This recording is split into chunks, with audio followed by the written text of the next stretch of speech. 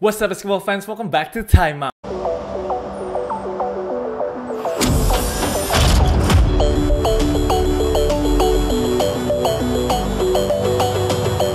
Balik bareng gue Ricky Padilla, kita kembali ke info basket hari ini edisi 17 September 2020 Sudah lebih dari 24 jam Clippers kalah dan juga tereliminasi dari NBA Playoff dan juga Denver Nuggets Berhasil menjadi tim pertama di NBA yang berhasil comeback multiple times setelah kalah 1-3 terlebih dahulu Dan akhirnya mereka pun lolos ke Western Conference Finals. Tapi gue sampai menit ini pun masih menerima Instagram tag, Instagram mention semua tentang kekalahannya Los Angeles Clippers Kemarin gue memang sedih banget tapi nggak apa gue terobati karena viewsnya time out edisi kemarin lumayan tinggi gue thankful banget untuk itu so terima kasih untuk semuanya yang udah support semoga viewsnya sebanyak itu nggak hanya pas Clippers kalah aja ya. semoga bisa stabil amin oke kita langsung masuk ke episode time out hari ini Hal pertama yang kita akan bahas masih Los Angeles Clippers di mana banyak sekali artikel yang keluar kenapa Los Angeles Clippers kalah. Ada yang bilang chemistry issue, ada juga yang bilang memang uh, ada beberapa pemain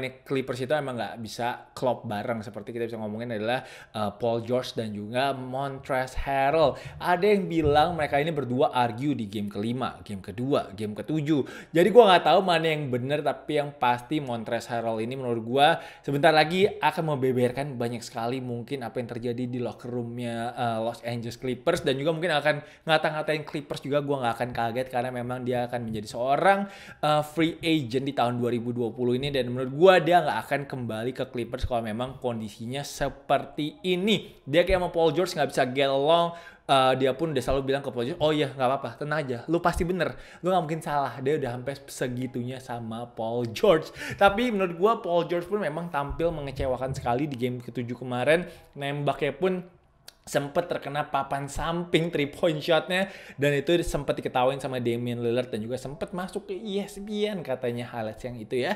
Jadi Paul George itu gue jujur sebenarnya gue suka banget sama Paul George dari sejak zamannya Indiana Pacers. Menurut gue dulu kan gue jagoannya gue idolain banget tuh Carmelo Anthony. Ya menurut gue abis Carmelo Anthony gue tuh sukanya Paul George karena memang dia tuh seorang apa ya underdog ya dari Fresno State. Dulu nggak terlalu banyak yang kenal juga lalu bisa bersinar biasa uh, bersama Indiana Pacers. Tapi menurut gua kenapa dia dulu bisa sukses sama Indiana Pacers karena ekspektasinya mungkin nggak terlalu tinggi kali ya dulu ya karena kita tahu Indiana Pacers waktu itu saingannya adalah The Heatles, The Miami Heat zamannya LeBron, Dwayne Wade dan juga Chris Bosh. Jadi kalau mereka udah bisa lolos ke Eastern Conference Finals itu udah termasuk season yang sukses sekali karena memang orang pasti jago ini kan Miami masuk ke NBA Finals. So itu kenapa menurut gua tanpa terlalu banyak ekspektasi makanya Paul George bisa menjadi salah satu superstar saat di Indiana Pacers. Nah, waktu dia pindah ke OKC Thunder dan juga sekarang LA Clippers, menurut gua Paul George itu mendapatkan banyak tekanan dan juga pressure yang tinggi karena semua expect OKC Thunder tahun lalu untuk melangkah jauh di NBA playoff. Lalu juga tahun ini semua expect Clippers sebagai tim terbaik di NBA dengan masuknya Kawhi dan juga PG-13, mereka harus bisa masuk ke NBA Finals dan menjadi juara. Nah, saat pressure pressure itu tinggi, Paul George tuh nggak bisa ngelewatin ataupun melawan pressure tersebut. Jadi dia malah takut mainnya dan jadi mainnya malah nggak bisa bersinar dan juga jelek seperti game ketujuh kemarin. Jadi itu menurut gue take gue kenapa uh, take gue tentang kenapa Paul George itu mainnya di game ketujuh selalu jelek. So sekarang kita pindah ke berita hari ini. Doc Rivers katanya musim mendatang akan tetap menjadi pelatihnya Los Angeles Clippers. Jadi ini keputusan kayak sudah dibuat sama manajemennya Clippers. Gua ngerti kenapa Clippers mengambil uh, keputusan ini. Kayak kita tahu di awal musim itu katanya memang Kawhi mau pindah ke LA dan ke Clippers itu karena dia pengen banget bermain untuk Doc Rivers. So, mungkin ini salah satu caranya Clippers untuk bisa membuat Kawhi tetap happy agar Kawhi tetap pengen di Los Angeles Clippers. Tapi kalau gue sebagai fansnya Los Angeles Clippers jelas kecewa sih kalau memang Steve Ballmer ini uh, masih ingin keep si Doc Rivers ini sebagai pelatihnya Los Angeles Clippers. Karena kita udah tahu beberapa tahun terakhir ini nggak pernah sukses gitu. Dari dulu zamannya Lob City pun tuh sebenarnya harusnya mereka bisa melangkah jauh banget ya dengan ada Chris Paul, Blake Griffin itu semua masih lagi prime time-nya semua. Lalu juga masih ada di Andrew Jordan tapi ternyata juga mereka tidak bisa melangkah jauh di NBA playoff. Tapi memang gue ngerti juga karena Doc Rivers ini mungkin sebagai PR guy juga bagus. Lalu juga mungkin dia adalah spokespersonnya NBA untuk uh, masalah social justice. Jadi ini kenapa yang apa menurut gue nih kenapa Doc Rivers tuh punya banyak nilai plus uh, banyak sekali. Dan itu uh, menjadikan uh, Clippers ingin stay dengan Doc Rivers dan juga memberikan satu kali kesempatan lagi. Gue harap sih satu kali lagi kesempatannya. Kalau tahun depan gagal lagi Clippers, menurut gue Doc Rivers harus keluar sih. So itu untuk berita dari Los Angeles Clippers. Sekarang kita berita NBA lainnya. All NBA selection team hari ini sudah keluar. Uh, first, second, third listnya menurut gue looks really good. Uh, LeBron kembali memecahkan rekor. Dia sekarang sudah 16 kali masuk ke NBA All Selection Team. Melewati rekornya Kobe Bryant, Karim Abdul-Jabbar, dan juga tim Duncan. Dan Luka Doncic sayangnya dia masuk di first team. Sayangnya gagal uh, memecahkan rekor sebagai pemain termuda yang pernah masuk ke NBA All Selection Team. Karena pengumumannya dimundurkan sampai September. Uh, misalkan kalau ini bulan April atau Mei, mungkin aja si uh, Luka Doncic menjadi pemain termuda karena LeBron itu sekarang masih memegang rekornya seba uh, sebagai pemain termuda yang ada di uh, eh, NBA yang pernah terpilih di NBA All Selection Team dia itu 21 tahun 130 ha, 138 hari umurnya saat masuk ke NBA Selection Team dulu. Oke, okay, di second team ada Chris Paul dan Chris Paul ini menurut gua sangat deserving banget untuk masuk ke second team. Di umurnya yang 35 tahun orang nggak ada yang memperhitungkan Oklahoma City tapi dia bisa bawa Oklahoma City uh, sukses di season ini dan bisa masuk ke NBA playoff. Jadi menurut gua ini luar biasa banget apa yang dilakukan sama Chris Paul um, gue sih semuanya udah pantas ya tapi jelas ada beberapa nama mungkin yang orang mungkin bisa throw like Trey Young, Bradley Beal mungkin adalah snapnya untuk all N, uh, NBA All Selection Team ini Bradley Beal sih kasihan banget ya. Dia tuh average 30 setengah PPG dan juga 4,2 rebound and 6.1 assist per game. Dan di umurnya ini, ya di umurnya Bradley Beal ini yang bisa melakukan hal tersebut tuh hanya Michael Jordan and also LeBron James. Jadi ini elite number stats banget. Tapi dia season ini nggak masuk ke NBA All Star. Lalu dia juga nggak kepilih masuk NBA All Team Selection. So yikes uh, suck sih untuk menjadi Bradley Bill ya. Kalau memang udah stats segitu banyak tapi nggak bisa masuk ke All Star ataupun ke NBA All Selection Team uh, menurut gue dia adalah satu-satunya kandidat yang harusnya masuk sih. Tapi gue nggak tahu siapa yang bisa dikeluarkan either Ben Simmons atau pemain lainnya. Kalian kalian bisa tulis di comment section. Menurut kalian siapa nih nggak pantas ada di sini dan siapa kira-kira yang harusnya masuk di NBA All uh, All Team Selection? Nah kalian bisa tulis di comment section di bawah. Kemarin sebenarnya NBA juga udah mengumumkan untuk All Rookie First Team dan team gue main gak sempat bahas. First team ada Jamoran, Kendrick Nunn, Brandon Clark, Zion Williamson dan juga Eric Pascal. Uh, second team ada Tyler Hero, uh, Terrence Davis, uh, Kobe White, PJ Washington, and also Rui Hachimura. Ini kita tahu semuanya kan untuk selection team ini semua dipilihnya dari sebelum uh, NBA berhenti. Jadi semua statsnya dihitungnya sampai Maret 11 karena kalau sampai playoff dihitung ya jelas lah Tyler Hero pasti akan ada di first team untuk rookie ya. Tapi itu untuk berita uh, all NBA selection and also rookie team. Besok ada satu game uh, untuk Celtics melawan Miami Heat. Kita tahu kemarin ini overtime game. Uh, akhirnya Miami yang berhasil menang dengan skor 116-114. Uh, Gordon Hayward ini di-upgrade menjadi doubtful untuk game kedua. Tapi gue nggak yakin dia akan main sih. Kalau menurut gue, gue kayak bilang sih mungkin Gordon Hayward game ketiga. Tapi gue mungkin salah. Kita tunggu aja. Biasanya kalau doubtful itu kita baru tahunya game time decision nanti. Jelas kalau ada Gordon Hayward, dia memberikan pengalamannya dia di NBA playoff. Dia dulu udah sering main di NBA playoff bersama Utah Jazz juga. Itu akan menjadi nilai plus sendiri. Apalagi main juga kita tahu ball movementnya. Celtics di dua menit terakhir tiga menit terakhir tuh kurang bagus banget. Dan kalau gue baca secara online itu katanya memang kemarin di team meeting itu itulah yang dibahas. Jadi kita lihat aja besok gimana ball movementnya di tiga menit terakhir quarter keempat.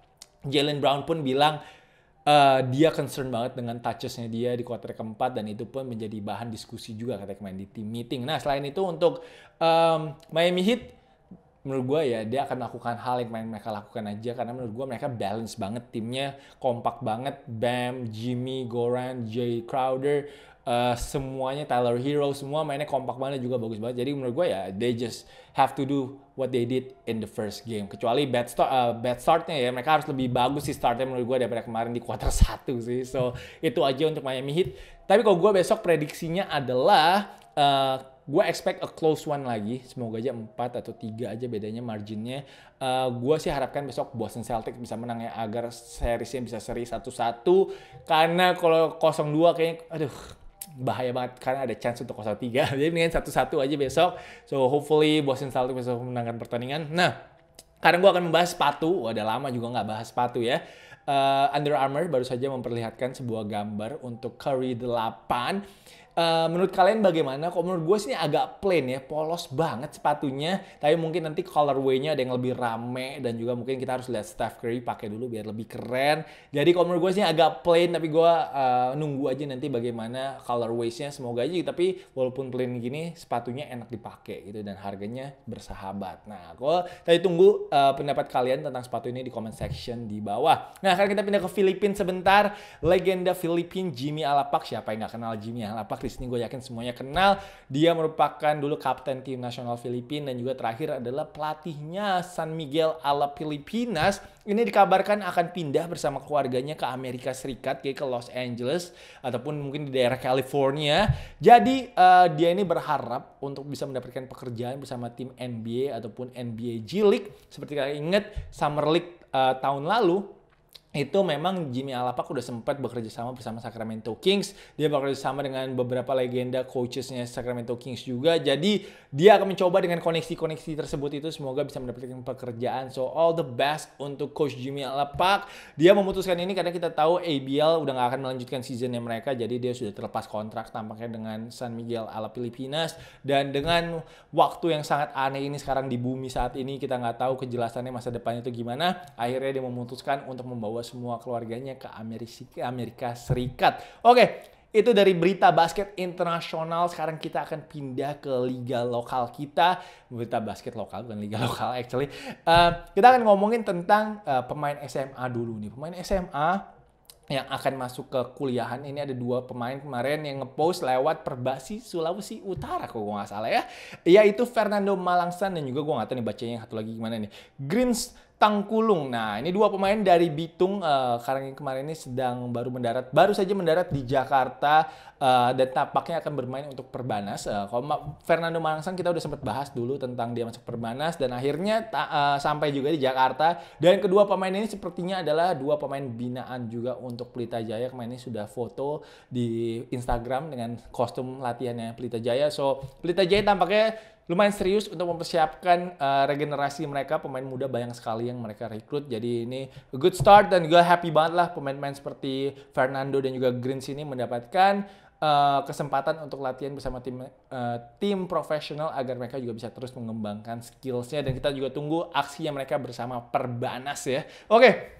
Jalu, wah ini udah baik banget yang nanyain gue, kak nih Jalu belum ada beritanya, gue kasih rumornya aja nih, gue udah denger-denger nih, udah denger-denger, tapi belum ada kepastian katanya sih Jalu itu kemungkinan besar akan ke Universitas Trisakti. Ini kayak barengan ya sama Rehan ya, eh, rekan setimnya dia di PPOP. So kita tunggu aja nanti konfirmasinya dari Jalu, kalau memang udah pasti nanti gue kabarkan lagi lewat video time out. Terakhir, wah ini pasti yang ditunggu-tunggu juga, gue akan kasih kalian klip dari latihan tim nasional Indonesia hari ini seperti biasa Jawaro ini memang jago banget ya, selalu mendominasi bersama Andakara Prastawa dan juga Abraham Damar Gerahita. So thank you so much uh, kepada Kuya Raul. Seperti biasa dia lah yang rajin. Kita harus terima kasih banyak sama dia. Tiga menit loh nih video latihannya. Gue seneng banget sih tadi pas lihat Vincent juga tampaknya semangat banget di latihan ini. Dia juga ngepoint beberapa kali. So uh, always happy to see the progress of our national team. So hopefully they can they can keep working hard dan juga semakin terus berkembang timnya dan juga semakin bagus dan kompak saya. So guys, tanpa lama lagi kita langsung lihat aja latihannya tim nasional Indonesia.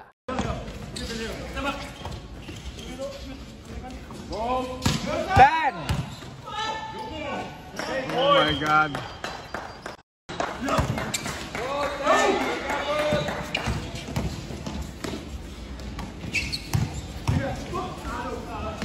Gassi, the magician.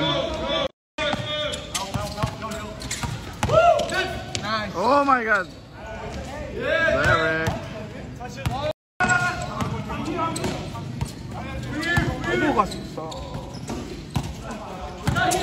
Oh my god, Jawaro. Go! Play! Gassi again.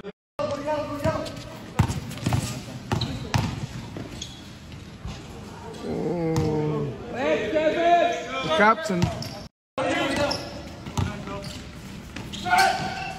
Muscle milk or three muscle milk. Good passing.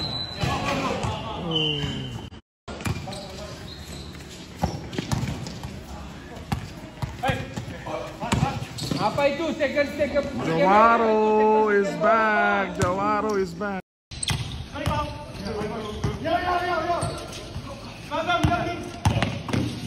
Kenapa ya? Berhenti.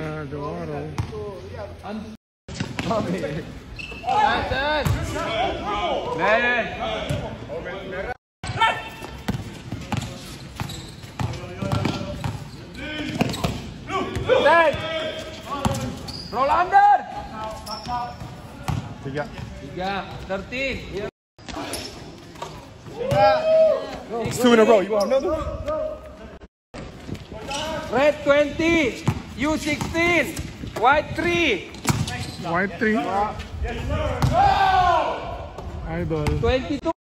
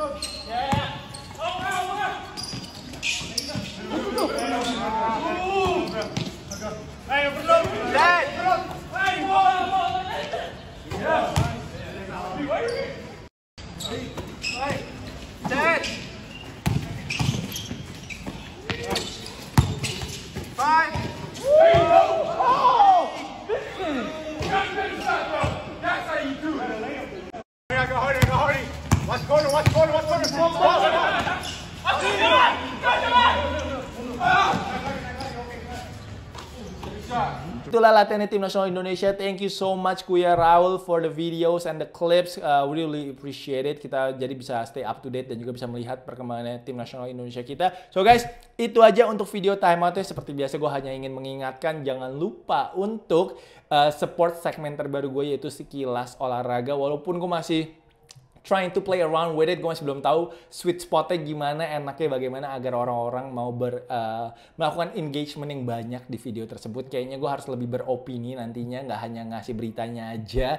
Jadi gue masih mencoba mengulik-ngulik bagaimana pasnya untuk sekilas olahraga. But jangan lupa untuk di-support ya guys. Jangan lupa untuk ditonton juga itu uh, segmen tersebut. So guys, itu aja untuk video timeout. Uh, mungkin ada yang nanyain gue untuk uh, previewnya Lakers lawan Denver. Itu akan gue lakukan mungkin besok aja ya. Karena Denver gamenya baru lusa kayak lebih pas kalau besok kita ngomongin tentang Denver lawan Lakers. So guys, thank you so much for watching today's time out. Uh, appreciate your support as always. Jangan lupa untuk like, jangan lupa untuk comment, and jangan lupa untuk subscribe. Thank you for watching. I'll see you guys tomorrow. Peace.